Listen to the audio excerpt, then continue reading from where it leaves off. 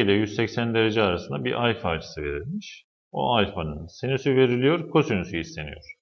Şimdi farklı şekillerde yapabiliriz ama şunu yapmak da mümkün. Alfa açısını 90 derece artı beta olarak kabul edebiliriz. 90 ile 180 arasında olduğuna göre şöyle 90 artı beta gibi kabul edebiliriz. Tabi buradaki betamız 0 ile 90 arasında bir açı olmalı ki 90 ile toplayınca 90 ve 180 arasına düşsün. Mesela betamıza biz burada işte 80 derece versek 90 artı 80 170 olur. Bu aralığa düşer. Şu aradan seçeceğimiz bütün betalar için bu ikinci bölgeye düşer. Şimdi verilenden başlayalım. Bize şu verilmiş. Sinüs alfa eşittir 1 bölü kök 5. Şimdi biz buradaki alfa yerine 90 artı beta yazabiliriz. Yazıyorum. Sinüs 90 artı beta eşittir 1 bölü kök 5. Şimdi bir dönüştürme yapacağız. Bunun için bir tane birim çember çizelim. Şöyle çember çiziyorum. Şimdi sınır açıları yazarsak şurası 90 derece, burası 180 derece. Şey pardon yanlış başladık. Yanlış yazdım.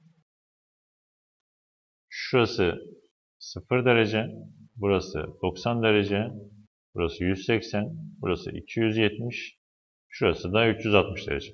Eğer işaretleri yazacak olursak, birinci bölgede işaretler artı artı, burada eksi artı, eksi eksi, artı eksi biçiminde olacak. Şurası birinci bölge, ikinci bölge, şurası üçüncü, burası da dördüncü bölge.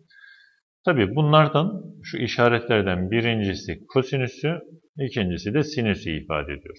Şimdi bizimki 90 artı beta.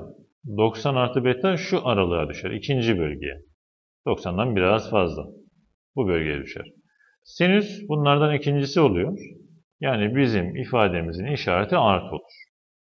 Dönüştürme işlemi yapacağız. Eğer şu dikey eksen üzerinden bir dönüştürme yaparsak, dönüştürme işlemi, bizim sinüsümüz kosinüse dönüşür. Ama yatay eksenden yatsaydık sinüsümüz yine sinüs olarak kalacak.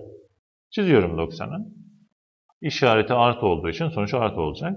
Sinüs 90'ı çizdiğim için dikey eksendeki açı kosinüse dönüşecek.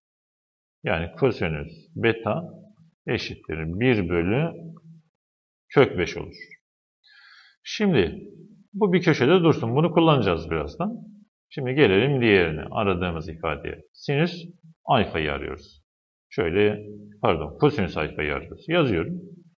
Kosinüs alfa. Şimdi alfa yerine de 90 artı beta yazabiliriz. Kosinüs 90 artı beta. Bizim aradığımız ifade. Şimdi birim çembere bakarsak 90 ile 180 arasında burada ikinci bölgede ikinci bölgede ama kosinüs olacak. Kosinüs olduğu için bunun sonucu negatiftir. Eksi olacak.